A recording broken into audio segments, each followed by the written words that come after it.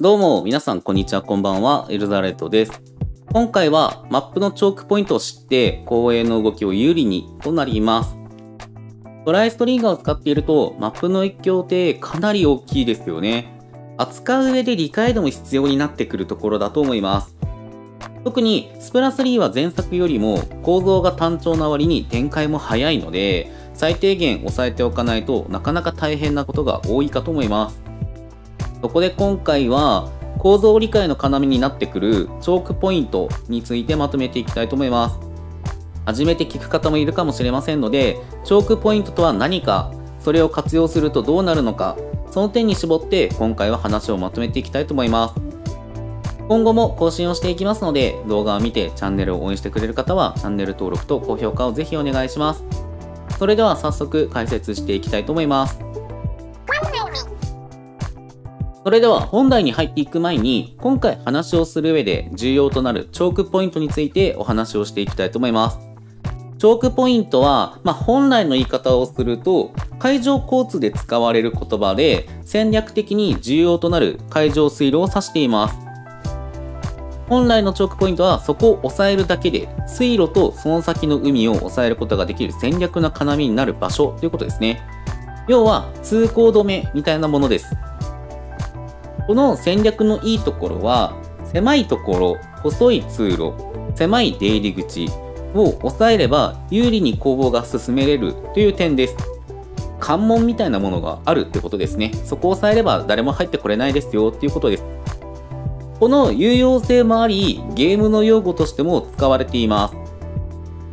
さて、いろいろと話していきましたが、まあ、チョークポイントは勝つために必ず通らなければならない場所っていう風に覚えていただけるといいかと思います。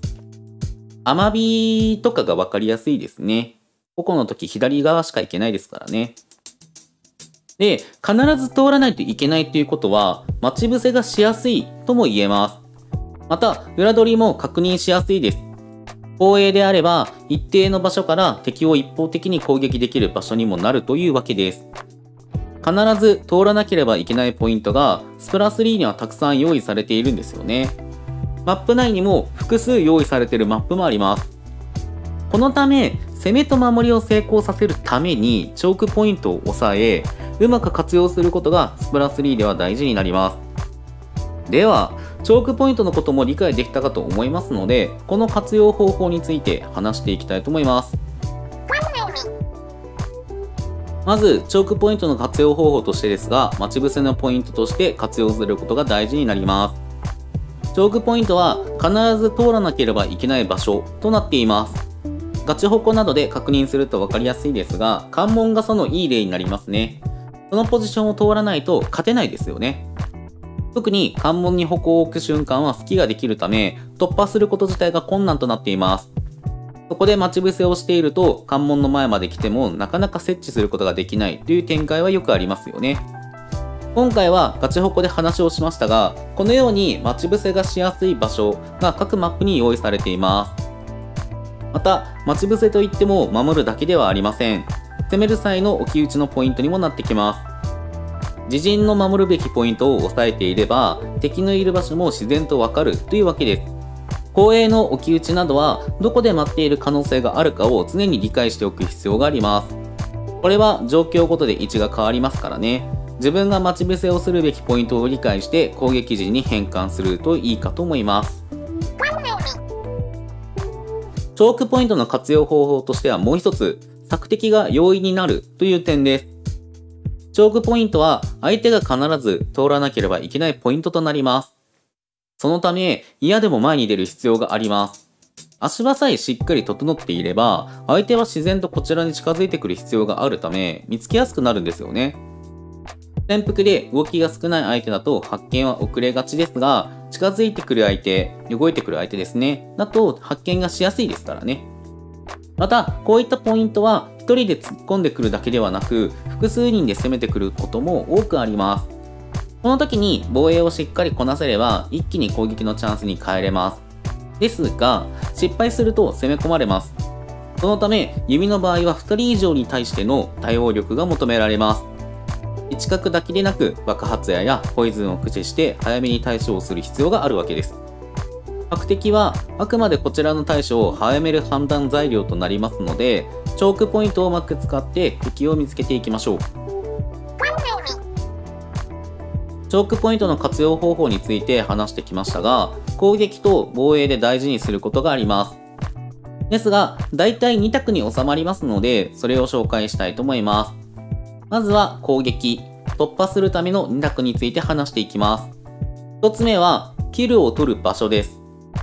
キルはどこでも取れば有利になるように感じますが、場所とタイミングが大事になります。例えばですが、関門周りとここ周りで敵が密集していた場合、どちらがカウントを進めやすいでしょうか？基本的に後者になるかなと思います。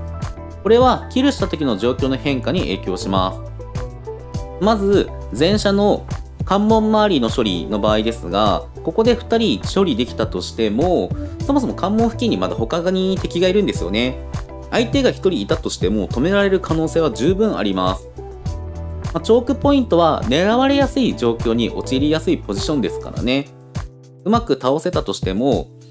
こちらが負ける可能性は非常に高いです。ですが、矛回りの場合は、相手の体勢が整っていない可能性があるため、場合によってはカウントを大きく進めれます。まあ、一番わかりやすいのは、矛爆発で複数人倒した時に一気にカウント進められますよね。相手の防衛もなかなかうまくできないので、結構いい動きというかカウントが進めるチャンスになります。まあ、要は倒した時の相手のポジションで全く変わるわけですね。大量キルを取る場所によっては止められやすいですからね。あえてチョークポイントで戦わず、その前で有利にするという方法になります。2つ目は、スペシャルで押し込むことです。これは一番わかりやすい方法ですね。チョークポイントは基本敵が密集しています。逆に言えば、ここでキルを取ることができれば、一気にカウントを進めることができるわけです。こちらもキルをすることが重要になってきますが、スペシャルによって倒せなくても交代させれればカウントが進みます。キルした時よりも多くの恩恵は受けにくいかもですが、逆手を狙う際などには有効な手段と言えます。ちょっとしたゴリ押しに近いですが、一番シンプルで分かりやすい方法かと思いますね。ただ、これはチョークポイントで使うから有効な方法となります。チョークポイントの前で処理をするか、チョークポイントから無理やり動かすか、この選択が重要になるわけです。チョークポイントを突破するための2択は以上となります。続いて、防衛時のチョークポイントの活用についてです。1つ目は、邪魔を徹底的にするということです。チョークポイントは、ある意味防衛の要となります。その場所に侵入されるだけで、試合展開は一気に不利になります。そのため、チョークポイントで倒すのは最終手段となるため、射程を活かして近づけさせない工夫が大事になります。チョークポイントは必ず通らなければいけないポイントになります。この通るというのがとても重要です。通らなければいけないということは、その場所を通りづらくすれば相手は進めれなくなります。その対策として爆発矢やポイズンが一定間隔でチョークポイントの前に攻撃をすることが重要になるわけです。邪魔されてる時って前に出づらいですからね。相手へのプレッシャーとしてはとても大事なことです。もちろん、キルが取れれば防衛としてはかなり強いので、距離によってはしっかりキルを狙っていきましょう。2つ目は、スペシャルで押し返すということです。突破時にも活用する方法として話しましたが、防衛時でも活用していきます。防衛の時はメインだけではどうしても無理な瞬間があります。それは相手がスペシャルを使用している時です。特に今作はスペシャルが強力なため、メインだけでは対策が難しい場面というのがあります。